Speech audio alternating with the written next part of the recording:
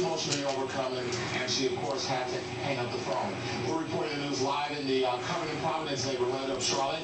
This is Richard Devane for the Carolinas News Connection. And I want to let you know as well, just hours before that It's scary good, incident, emergency popsicle. were called to another near drowning in Shelby. Police tell us a 10-year-old girl saved her brother's life there. She called 911 after she found him lying face down in two feet of water.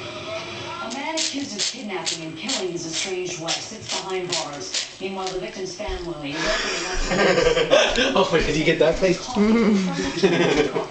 in a wax-up parking lot Tuesday night. It's good popsicle? With her, forced her to drive, and then shot her. Mm, thank you.